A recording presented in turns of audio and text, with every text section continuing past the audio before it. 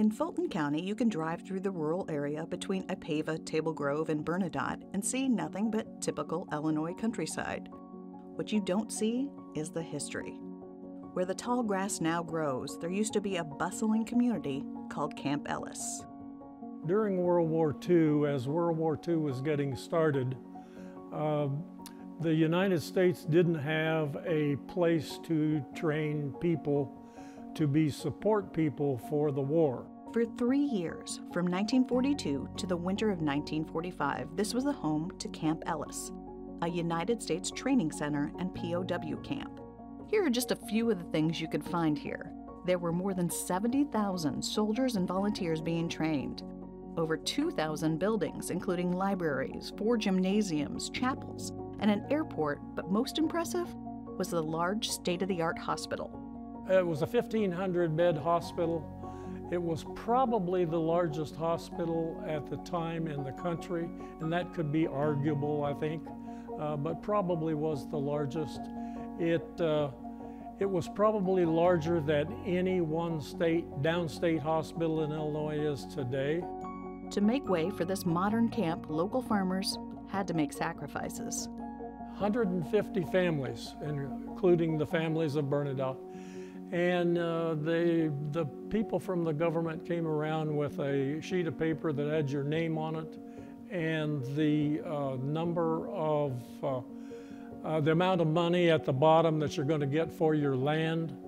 And the sheet of paper also says that you have to be gone in 30 days. You can take your house, your barn, your cows, your corn, anything that belongs to you, you can take with you. All we want is the dirt but you have to be gone in 30 days. That made a lot of people unhappy, but there were more people who were tickled to death because they had jobs. Julie Turstrip's family was one of the families that had to relocate very quickly. So they had been here over 100 years at the time that uh, they lost the land to the camp. Um, but they were never angry or bitter about it. Um, my dad was seven, and my uncle would have been 10 at the time. And my grandparents always said, well, our boys weren't old enough to serve, our nephews were, but it was our way to help the war effort.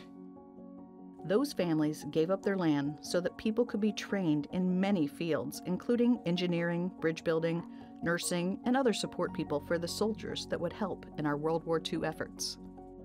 The pictures that I showed you of the quartermasters are, uh, there are three guys in one foxhole and they dig a little trench on the outside, line it with a pup tent, and they're mixing bread dough. And then the other picture, and these two pictures were actually taking out there, they were done during the training. And uh, three other guys have dug a hole in the side of the hill and they put a fire in that hole and they're baking bread in the hole. And uh, that's kind of an amazing thing when you look at the pictures.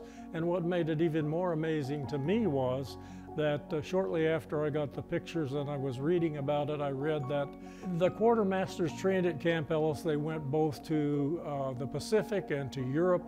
And it was estimated they baked 91 million loaves of bread after they left Camp Ellis. These three over on this side,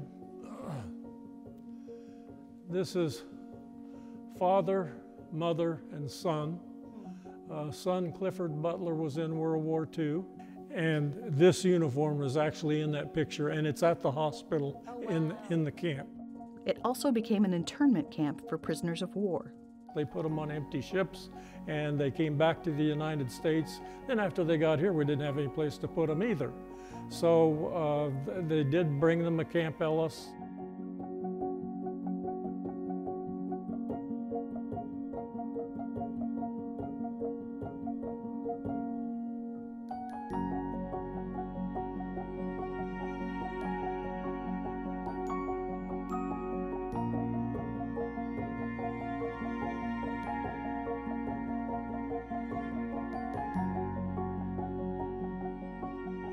All of the buildings were moved out.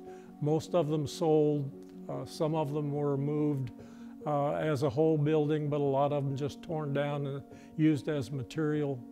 Uh, they dug up all the water system. Uh, all of the uh, telephone communication system was taken down and used somewhere else.